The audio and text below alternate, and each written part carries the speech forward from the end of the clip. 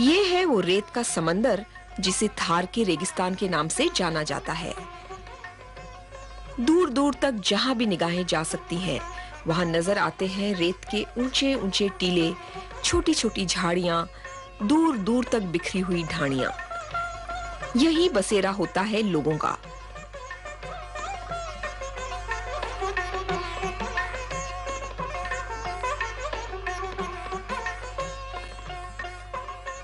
जगह की और पहचान। गाँव नाम की चीज़ का तो सिर्फ़ कहीं कहीं नामो निशान।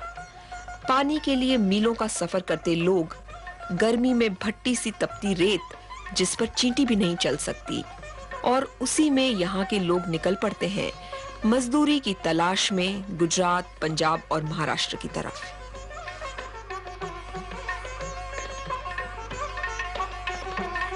ढाणियों में साए साए करती आंधियों के बीच ही रहते हैं बच्चे और महिलाएँ। कई चले जाते हैं पशुओं के साथ हरी घास की तलाश में महाराष्ट्र तक। महिलाओं को मील भर जाकर मिलता है पीने का पानी। साथ में चलते हैं मवेशियों के झुंड के झुंड, पानी की टंकी तक।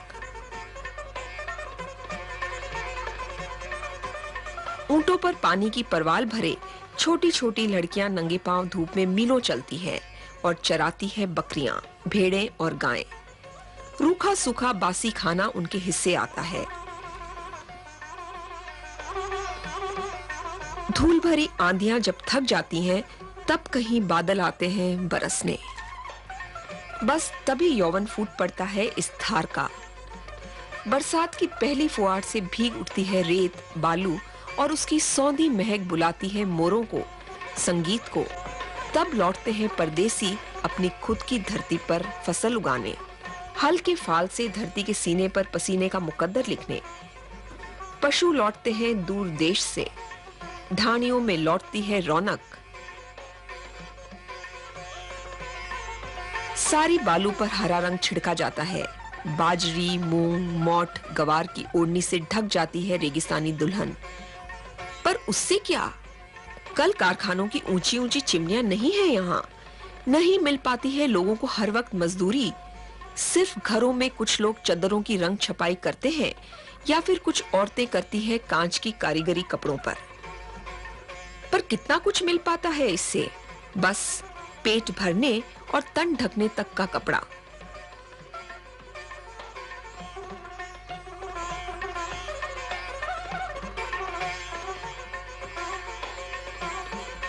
थार के रेगिस्तान में रेत की तरह पसरी है निरक्षरता, अंधविश्वास और कुरीतियाँ। आखातीज पर बच्चों के विवाह से लेकर अफीम के मनुआरों तक। इसके अलावा औसर मौसर के रीति रिवाज हैं, सो अलग। सीमा पर बसे हैं उपेक्षा का शिकार रेगिस्तानी इलाके। गाँव की सौ औरतों में से सिर्फ़ चार पढ़ी लिखी हैं, बाकी सारी घूंघट में से झांकने वाली अनपढ़। औरतों के झुंड के झुंड अंगूठा छाप। पर लगता है रेत के इस समंदर में एक नई आंधी आ रही है, जिसने इसका रूप बदलने का प्रयास किया लगता है। कुछ लोग जो पढ़ लिख गए हैं, वे इसके रूप को बदलना चाहते हैं। वे चाहते हैं यहाँ का आदमी कुछ नया सोचे, यहाँ का आदमी नई बातें जाने।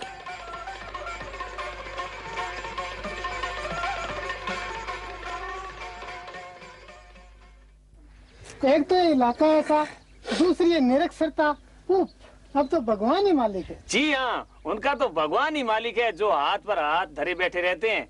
कुछ किया तो है नहीं बस कह दिया भगवान ही मालिक है। बिल्कुल ठीक कहते हो भैया। कुछ कोशिश तो करो इस तरह बैठे रहने से कुछ नहीं होगा।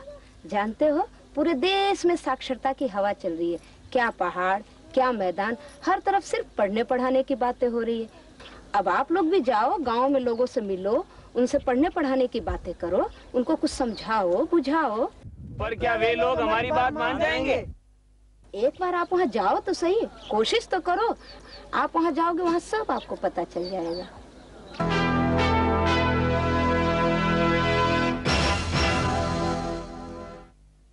लगता है उषा की बातों का इन पढ़े लिखे युवकों पर बहुत ज़्यादा असर पड़ा है। तभी तो उषा गई नहीं कि ये लोग भी अपनी अपनी मंजिल की ओर चल पड़े हैं। और हेतराम को तो ये भी फ़िक्र नहीं कि खुद उसे उसकी पढ़ाई करनी है या घर का और काम करना है। वो तो बस अपनी ही धुन में टीलों को पार कर तेलियों की बस्ती जा पहुँचा है और वहाँ मिलते हैं बच्चू खां, जो तेलियों के नेता हैं। साक्षरता चल रही है। जब हेतराम बताता है बच्चू खां को कि वह ढाणियों में रह रहे लोगों को पढ़ाना चाहता है सिखलाना चाहता है अक्षरों का मूल मंत्र तो बच्चू खां गुस्से से भर उठते हैं और कहते हैं कि ये अनपढ़ पढ़ गए तो कौन मानेगा उनकी बात? छोड़ो फिर भी टाइम निकालो।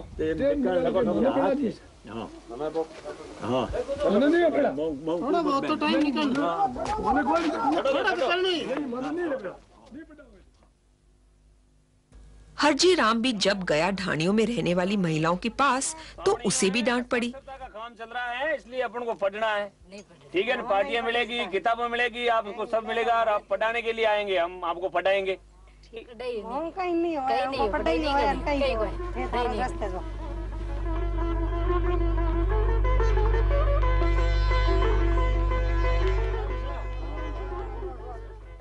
ये ना साक्षरता पढ़ाई हो रही है नहीं और मैं पढ़ने जाऊँ ना आपने हैंगला नहीं भाखरा राम को भी यही सुनने को मिला कि ये छोकरा जो दिन भर मटर गश्ती करता रहता है वो क्या पढ़ाएगा? थोड़ा बहुत टाइम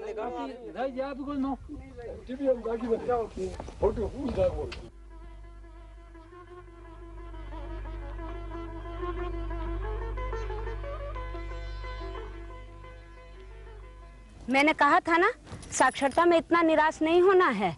इतनी आसान ये बात नहीं है। हमें एकदम से अपनी बातें शुरू नहीं करनी है। याद है, प्रशिक्षण में गुरुजी ने क्या कहा था? हमें उनके बीच जाना है, उनके सुख दुख की बातें, उनकी समस्याएँ, उनकी घरेलू बातों को हम लोग पहले सुने। उसके बाद हम अपनी बातें उनके आगे रखें तो वो हमारी बात समझेंगे, सुनेंगे और हाँ मानेंगे भी।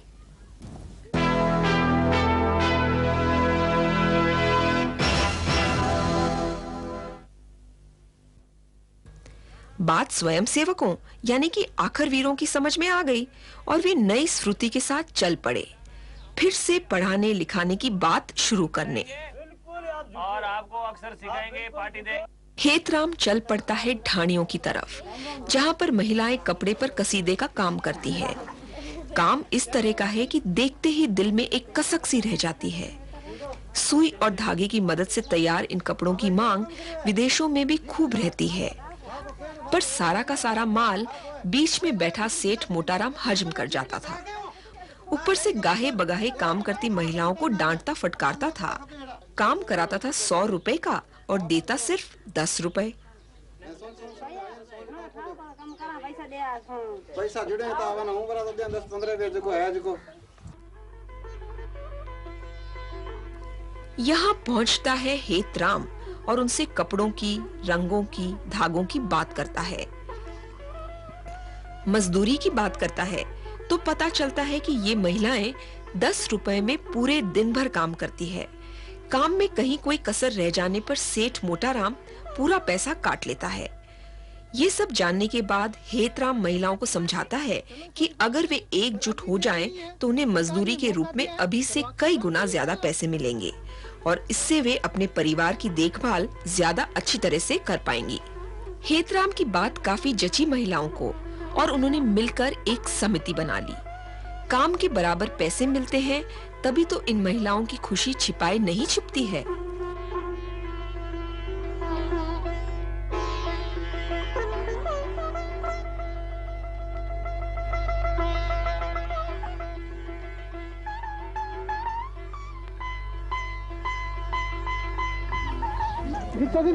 पैसे मिले खुश हो ना? हाँ भैया पैसे मिले हैं। अब हमें पता चला एकजुट होने में क्या फ़ायदा है। पर एक बात बताइए इन पैसों का हिसाब किताब तो रख लोगे ना? देखो भैया हम तो ठहरी अनपढ़ मजूर। भला पैसों का हिसाब किताब हम क्या करना जाने? इसीलिए तो कहता हूँ अनपढ़ को हर कोई ठगता है। अब तुम पढ़ी लिखी हुई होती तो इन रुपयों का हिसाब किताब में कोई गड़बड़ नहीं करती।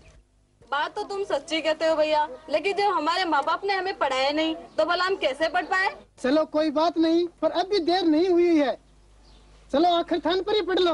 अरे पूरा अरे धन्नी अरे लक्ष्मी सुना है तुमने? आखिरतान पे जाने की बात कर रहा है। क्यों ना हम भी आखिरतान पे जाकर के पढ़ने की बात शुरू करें? हाँ हाँ बोलो चलो चलो।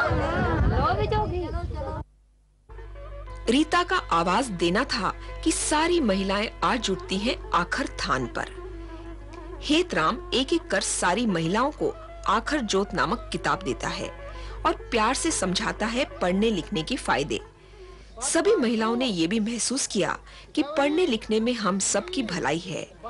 वे नियमित रूप से आखिर थान पर जाने लगी हैं। धीरे धीरे उन्होंने अक्षर ज्ञान से शुरू कर सारी बातें सीखी। पैसों का हिसाब किताब रखना, पढ़ना और चिट्ठी तक लिखना सीखा। यहाँ तक कि आज वे अपना माल बाज़ार में खुद ही बेच लेती हैं और पूरा दाम भी वसूल लेती हैं।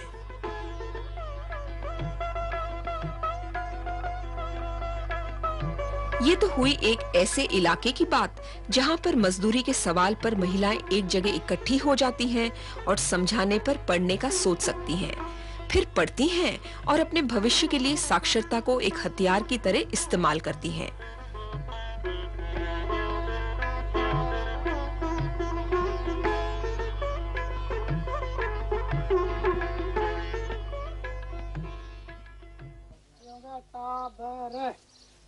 गाल। लोग। गोबर। बोलो गोबर। गीला गीला लेकिन कई ऐसे इलाके भी हैं जहाँ सैकड़ों साल से चल रही पर्दा प्रथा के कारण महिलाएँ बस घूंघट के ओट से ही संसार देखती हैं। मूछों पर ताव देते पुरुष महिला को सिर्फ़ घर की संपत्ति मानते हैं। वे चाहते हैं कि वो दिन भर मेहनत करे घर की देखभाल करे चूल्हे पर रोटी सेके और बच्चे पैदा करे। वे आराम हताई करते हैं अफीम लेते हैं और उसे डांटते डपटते हैं। सोचिए ऐसे में भला वे कब तैयार होंगे कि महिलाएँ पढ़ें?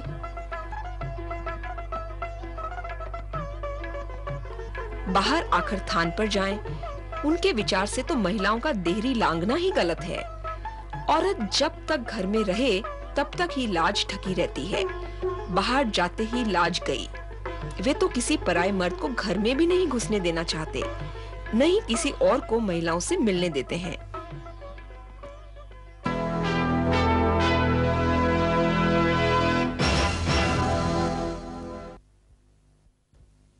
अब फूलाराम की ही बात लीजिए। वो हरी सिंह की ढाणी जा रहा है। कई दिनों से वे बात भी नहीं करते। जब भी वह जाता है तो खुद ही उठकर हरी सिंह बाहर आते हैं और कहते हैं, उन्हें नहीं पढ़ाना महिलाओं को। महिलाओं को बाहर भेजने से उनकी लाज शर्म खत्म हो जाती है और न ही उन्हें बनाना है कोई कलेक्टर या मास्टर। इन सब बातों से फूलाराम कुछ हताश सा महसूस करता है। अपने जोड़िए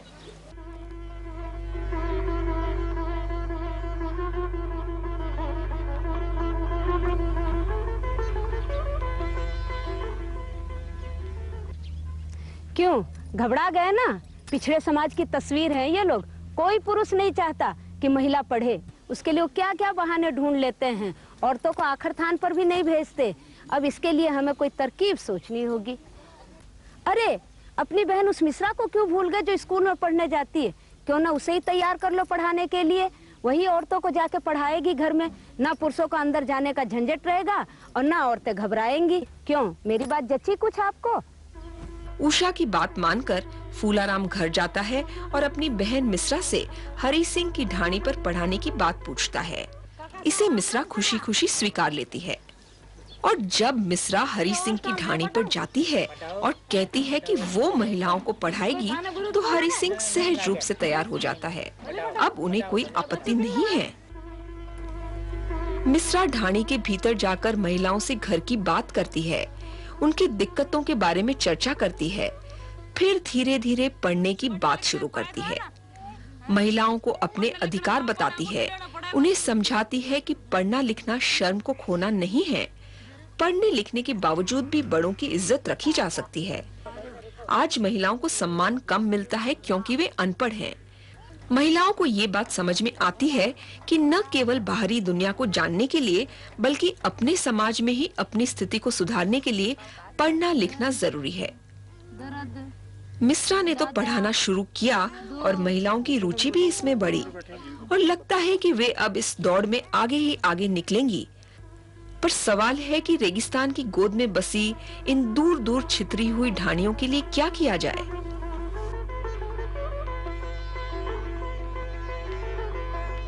अब एक ढाणी के लोग न तो चलकर दूसरी ढाणी में इकट्ठे हो सकते हैं और न ही किसी एक स्थान पर मिल सकते हैं।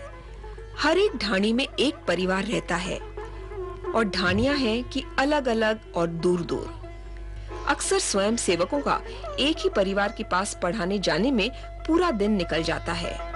उनके सामने समस्या ये है कि वह एक ढाणी में जाएँ तो दूसरी ढाणी के लोगों को कैसे जोड़ें? नहीं कोई ऐसा निश्चित समय है जिस वक्त वे लोग पढ़ने के लिए खाली होते हैं। इससे उनको पढ़ाने का काम शुरू ही नहीं हो पाता।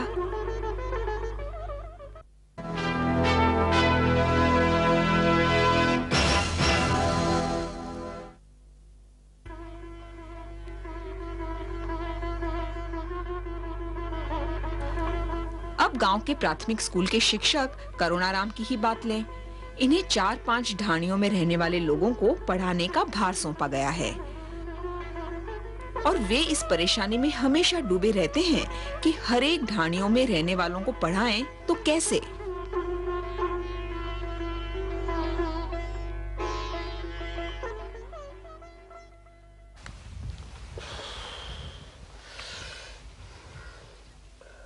क्यों करना राम जी? इस तरह मुँह उतार कर क्यों बैठे हो? साक्षरता अभियान में हारने जैसी कोई बात नहीं है। अच्छा अब मेरी बात सुनो आप। अलग अलग ढाणियों में अलग अलग दिन जाना पड़े तो जाओगे ना? मान लो आप पहली ढाणी में गए, पहला पाठ पढ़ाया, समझाया, उस पाठ के सवाल करवाए आपने। मंगलवार को आप दूसरी ढाणी में जाओ, इसी तरह बुधवार को तीसरी ढाणी में। क्यों? ठीक कहा ना मैंने? फिर गुरुवार को आप वापस पहली ढाणी में आ जाओ। एक सप्ताह में आप तीनों ढाणियों के पढ़ने वाले लोगों को दो दो दिन दे सकते हो और दूर से आए हुए लोगों को भी आप पढ़ा सकते हो। क्यों? सही कही ना मैंने? अच्छी रही ना ये बात? अब करुणाराम चला है आज पहली ढाणी की ओर और, और उसके पास है फोल्डर्स पार्ट।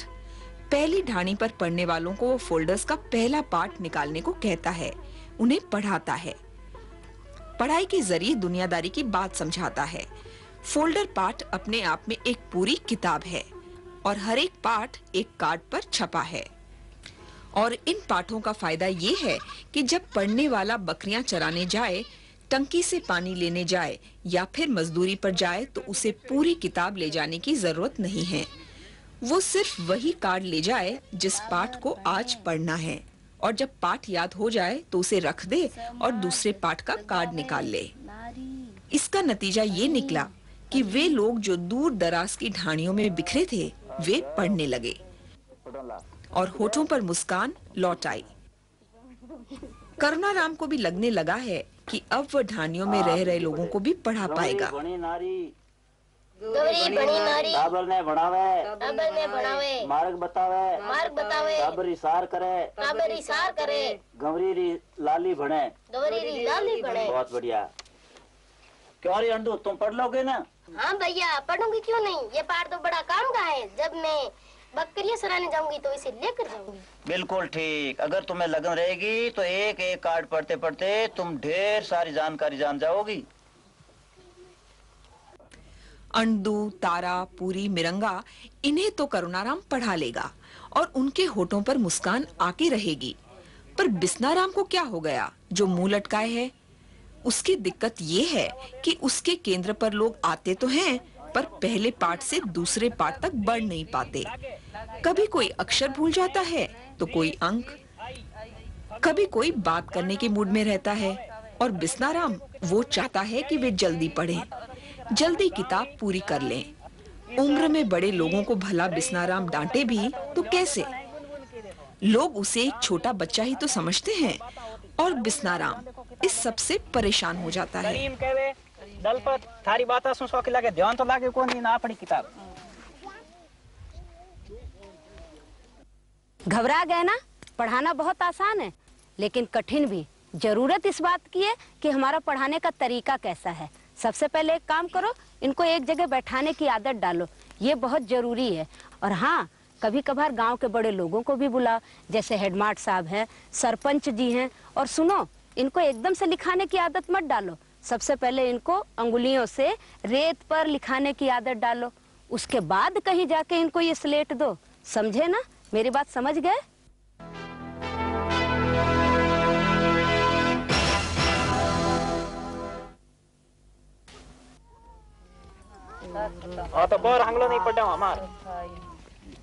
उषा की बातें मानकर अब बिस्नाराम पढ़ने वाले लोगों को पहले इकट्ठा करने लगा। बातें करने लगा और बातें उनके घर बार की। बीमारी की, खेती की। बिस्ना राम ने केंद्र को ज़्यादा असरदार बनाने के लिए हेडमास्टर जी और सरपंच को अपने साथ लिया, जिससे अधिक से अधिक लोग केंद्र से जुड़ने लगे। और तो और बिस्नाराम के बुलावे पर गाँव की नर्स बहन जी भी आई।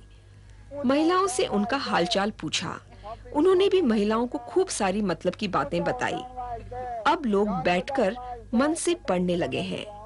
बिस्नाराम ने खेल खेल में पढ़ने वालों को बालू पर अक्षर लिखवाए। उन्हें भी अच्छा लगा ये खेल। बड़ा मज़ा आया उन्हें। वे भी बालू पर कई अक्षर लिखते हाँ, लिखो। लिखो बा बा बाबा लिखो बाबा अब तो बिस्नाराम का केंद्र चल पड़ा है। लोगों को किताब से भी पढ़ाता है बिस्नाराम और पढ़ने वाले भी खुश हैं। उन्हें बिस्नाराम अब होनहार लगता है। तभी सरपंच जी ने भी बिस्नाराम को शाबाशी दी है। को गाँव को कितो जोरदार काम पढ़ाई कराई तो आके। है ना होशियार कर दी ना वाकई में बहुत शाबाशी मिली है बिस्नाराम को। इससे और भी स्वयंसेवक काफ़ी प्रेरित हुए हैं। लेकिन इतने से बात बनती नहीं है, क्योंकि ये इलाका कुछ जटिल है। इसे कुदरत ने भी कुछ ऐसा बनाया है कि साल के चार महीने जब बारिश होती है, तब तो लोग इस रेत पर हरी भरी फ़सल की चादर बुन देते हैं, पर बाकी के आठ महीने तो इनके पास कुछ नहीं होता है करने को। यही बात इनकी रोज़मर्रा की ज़िंदगी में भी है। कोई काम शुरू तो करते हैं, पर फिर वही सुस्ती। और यही साक्षरता में भी हुआ।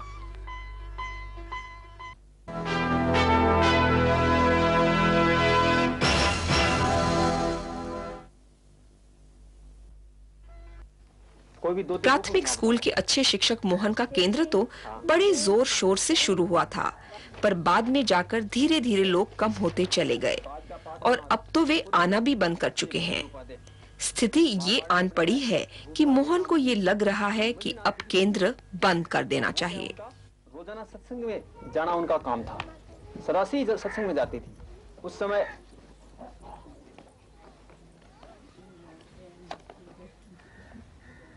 क्या बात है मोहन? आज केंद्र पे कोई नज़र नहीं आ रहा है। क्या करूँ? पहले तो खूब लोग आते थे। धीरे धीरे एक एक करके आना बंद हुआ। अब कोई नहीं आता है। खूब समझाया। देखो एक बात सुनो। तुम ऐसा क्यों नहीं करते? इन गाँव के कलाकारों को इकट्ठा करके कला जत्था बनाओ और कार्यक्रम दो। पर हाँ ध्यान रहे वो कार्यक्रम उनकी अपनी भाषा में हो। यहाँ के नाच यहाँ के गीत यहाँ के बोल सब में साक्षरता का संदेश छुपा हो। जब लोगों की भीड़ इकट्ठी हो जाए तो तुम साक्षरता की बात भी कह पाओगे। मुझे लगता है इससे लोग बात जल्दी समझ पाएँगे।